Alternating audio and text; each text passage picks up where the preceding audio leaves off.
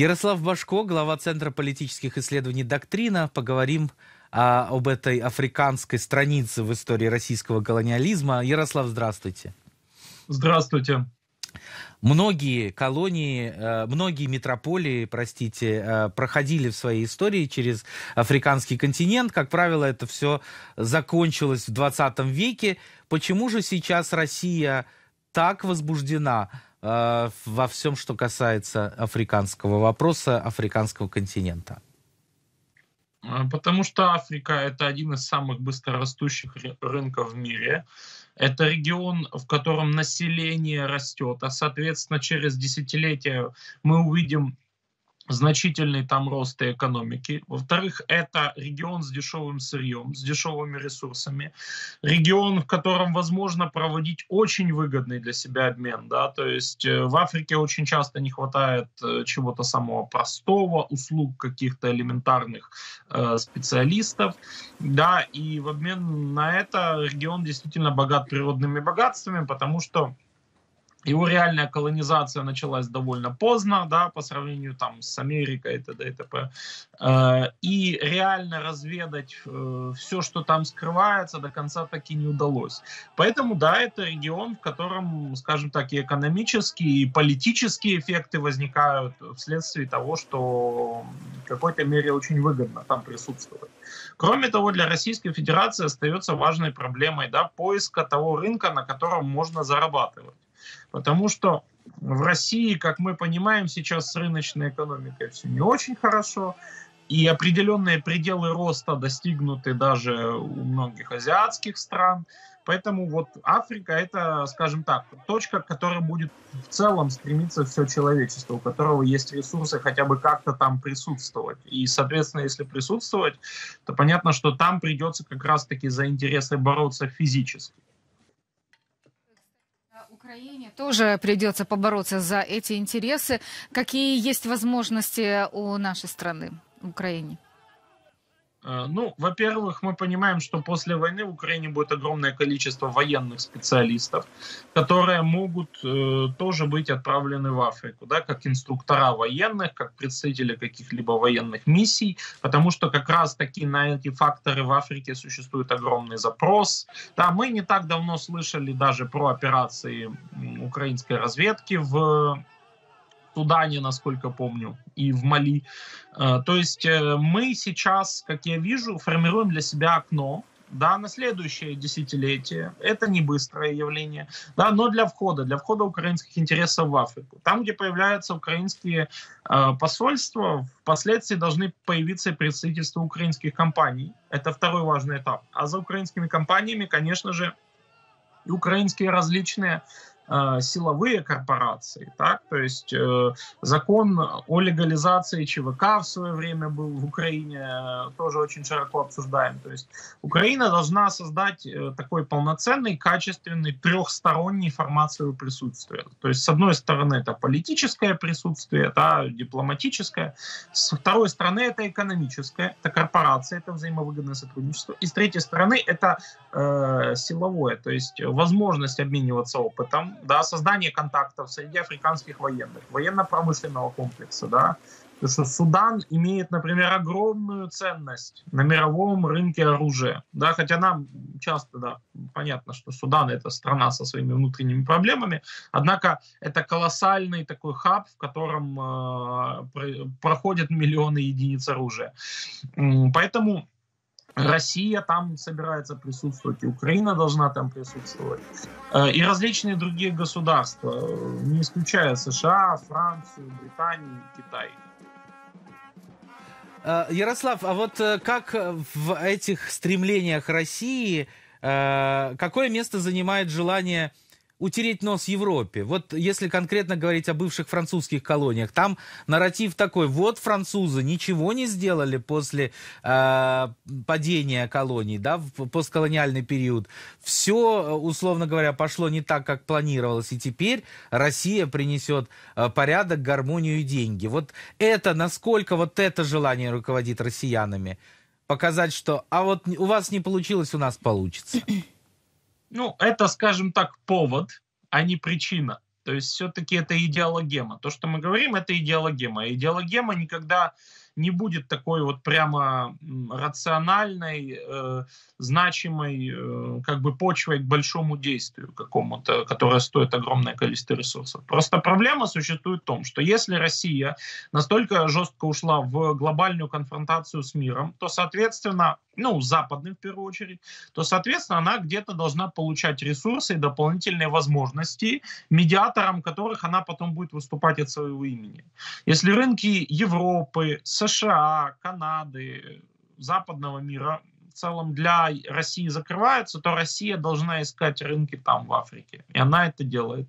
То есть это желание в какой-то мере спасти свою экономику, потому что Проблема современной экономики даже не столько в том, как производить, да, а куда продавать, да, чтобы это было выгодно, потому что добиться для себя каких-то льготных условий по сбыту в нашем мире, это требует огромных политических усилий в том числе. Кроме всего прочего, да, если мы думаем, что Россия сможет привнести в Африку какой-то другой порядок да, решений, да, порядок государственного устройства, то, конечно же, это невозможно, потому что даже на концептуальном уровне, когда Запад осуществлял какие-то колонизационные действия, то мы понимали, что вот есть французский, немецкий, там, американский, британский стили государственного управления, которые глубоко прописаны на высоком уровне, которые понимаются, которые можно как инструкцию экспортировать в другую страну, да, и пробовать там формировать порядки на основании этих инструкций. У России нету такого четкого управленческого стиля и нет своей какой-то особенной управленческой школы Просто есть какой-то такой сгусток различных российских управленческих традиций, которые вне России практически невозможно экспортировать. Вот как нам показала попытка расширения России да, на бывшее все постсоветское пространство и попытка экспансии ее управления, попытка экспансии подходов. Это провально даже в отношении государств, которые находились долгое время с Россией в одних геополитических организмах.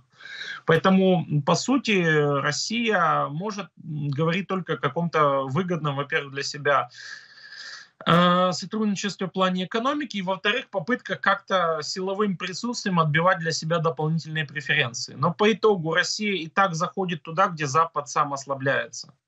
То есть э, Россия не в силах, э, скажем так, изменять статус-кво. Просто она пытается подхватывать какие-то уже существующие тенденции, да, идти в фарватере за Китаем каким-либо образом. То есть туда, где заходит Китай и выбивает Запад, туда, как правило, заходит и Россия. И Россия в этой э, гонке не первична. То есть Россия не является игроком первого уровня в Африке, как э, старое государство, да, колонизационное, и как США, и как Китай. То есть вот Россия находится все-таки за ними, и в какой-то мере она просто ищет для себя лазейки в общей ситуации. И возвращаясь к тому, как Украина продолжает развивать отношения с африканскими странами, вот буквально на днях впервые в истории глава украинского МИДа Дмитрий Кулеба провел разговор с министром иностранных дел Танзании Дженуари Макамбой. Обсудили глобальную продовольственную безопасность, а также идеи развития двухстороннего сотрудничества и, конечно же, э, углубление связи Украины с африканскими странами. Да? И еще также обратим внимание наших зрителей на то, что э, еще ну, вот с 90-х годов а, Украина не разбивала отношения с Африкой, а вот уже за менее чем год министр э, иностранных дел Украины а, посетил 12 африканских стран. Это Сенегал, Кот-Дивуар, Гану, Кению, Марокко, Эфиопия, Мозамбик, Руанду, Нигерию, Экваториальную Гвинею, Либерию и ПАР. Как оцениваете успехи за этот год и как быстро, скажем так, еще надо ну, восстанавливать отношения с африканскими странами, а, учитывая, в принципе, сжатость времени и а, еще и обороняясь Украиной от Российской Федерации, да, у нас а, очень быстро надо это все делать. Как вы считаете и оцениваете, в принципе, вот такое восстановление отношений? Ну, во-первых, быстро не получится, потому что развитие отношений быстрым не бывает. Да, то есть быстро можно только произвести какие-то экономические операции, перечислить кому-то деньги и забрать товар. А вот как раз-таки в плане политики нам нужно долгосрочное качественное присутствие. Да? Почему Россия, например, смогла так много где проникнуть на африканском континенте по сравнению с Украиной? Потому что она имела гораздо более разветвленную сеть посольств, гораздо большее количество дипломатических сотрудников. Да, то есть банально в одном посольстве России работало в несколько раз больше сотрудников, чем в украинском посольстве. И даже чем в некоторых и западных посольствах. Это давало России дополнительные возможности на местах. Кроме того, Россия открывала там представительство «Газпрома» и других крупных корпораций. То есть у России уже полноценная там сформированная инфраструктура влияния. И вот эти все африканские корпуса, ЧВК Вагнер, это только последствия. Это надстройка да, того, что они теперь могут заводить туда и такие подразделения. Э, Украине сейчас э, необходимо концентрироваться еще на самом первом уровне, то есть на создании инфраструктуры своего присутствия в Африке. Да? Почему? У нас очень мало экспертизы по Африке, мало медиа, которые пишут про Африку, и мало тем более в Африке медиа, которые отстаивают точку зрения Украины, как-то ее качественно освещают. Маленькие штаты посольств и сетка посольств пока действительно остается довольно ограниченной, хотя уже заявлено о создании новых дипломатических представительств. Вот пока не будет решен вопрос этого качественного присутствия, выравнивания паритетов, формирования месседжей конкретно под африканский регион, а это все несколько лет минимум, даже при ударных темпах это несколько лет. Поэтому то, что мы, конечно же, не развивали это направление в 90-х, 2000-х, понятно, оно все было продиктовано безденежьем, так или иначе, Однако это тот фактор, где мы из-за своего безденежья впадали в еще большее безденежье. То есть мы, отказываясь от каких-то долгосрочных перспектив, от возможностей, не изучая эти возможности, просто отсрочивали свое развитие дальше и дальше вперед во времени. Скажите, э, Ярослав, кто может России э, составить, ну, не конкуренцию, а такого оппонентом быть э, в африканских делах из мировых держав? Кто может действительно ну, в каком-то смысле сдерживать ее от провокаций активных политических диверсий, если не говорить о военных? Ну, во-первых, в разрезе Африки важна уже даже не так политическая конкуренция между странами, как экономическая, а, а часто осью экономической конкуренции являются частные акторы. То есть какие-то корпорации, да, синдикаты, различные такие довольно крупные транснациональные организмы, которые, например, задействованы в мировом нефтяном рынке, мировом рынке добычи полезных ископаемых, вот эти вот корпорации, они очень часто и без государств обеспечивают себе инфраструктуру защиты своих интересов, да, и, э, конечно, Россия, пытаясь заходить в африканское сырье, в добычу, она будет сталкиваться и сталкиваться в первую очередь с интересами этих игроков, да, даже не политических каких-либо, а вот как раз-таки корпораций, которые уже и подтягивают свои национальные правительства для того, чтобы защитить свои интересы э, в этом регионе. Поэтому, конечно, первичная, первичная экономическая конкуренция и первично западные, и не только западные компании, которые будут чувствовать со стороны России то или иное давление и попытку зайти на их территорию. Не скажите, Ярослав, почему-то э, сейчас вооруженные силы Российской Федерации создают африканский корпус, об этом сообщает э, The Moscow Times. А, так вот, набирают э, новое подразделение для решения военных инфраструктурных и гуманитарных задач. Это, ну, как преподносится, конечно же. То есть уже переходит на другой уровень. Не ЧВК а, Вагнер, как раньше было, а уже официально заходить а, ну, в военным, скажем так, корпусом.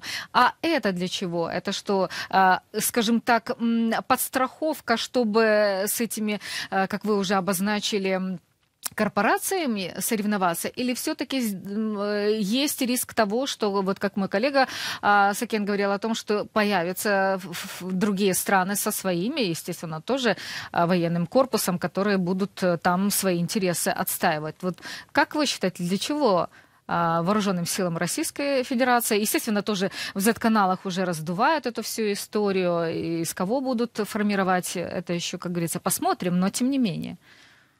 Ответ очень простой. Будут формировать из тех, кто и так был в Африке, в рядах ЧВК «Вагнер» и других структур, не сильно официально обремененных какими-то отношениями с государством России. Да, то есть теми, кто выполнял задачи, но был как бы таким типа частным игроком. Хотя ЧВК «Вагнер» не были в полной мере э, независимой от правительства России структурой, они все равно использовали вот этот как бы статус, что они не являются государственными служащими. Э, соответственно, после вагнеровского марша справедливости, после попытки там, мятежа возможного в России, понятно, что российские власти очень озаботились тем, что вот есть люди с оружием, от которых Россия зависит, а они как бы от российского государственного аппарата никак. Соответственно, инфраструктуру присутствия России, в том числе силового, вот таким образом перешивают из частной в государственную. То есть, э, если это африканский корпус, который создается Министерством обороны России, то понятно, что там будут служить военнослужащие. То есть люди в статусе правовом, связанном с государством, и люди, которые будут нести дисциплинарные и прочие взыскания да, от э, военного руководства России а не просто от своих каких-то начальников непонятных, частных. Э, и это просто одно из средств контроля за вагнеровской средой. Да, вот как, вот как проконтролировать бывших вагнеровцев, чтобы они при этом не перестали выполнять функции по продвижению интересов РФ в Африке силовым путем. Вот так, mm-hmm. сделать их военными, государственными служащими. Mm-hmm. И не только вагнеровцы, но в первую очередь те, кто были уже в Африке из российских да. они будут костяком корпуса. Угу. Спасибо, Ярослав. Э, у нас общенациональная минута молчания ровно в 9 утра. Мы сейчас к ней подведем. А, а вас благодарим за участие в эфире. Ярослав Башко, глава Центра политических исследований «Доктрина». Вся правда о войне России против Украины. Узнавайте оперативные новости первыми в телеграм-канале Freedom. Freedom – только то, что действительно важно знать. Подписывайтесь. Ссылка в описании.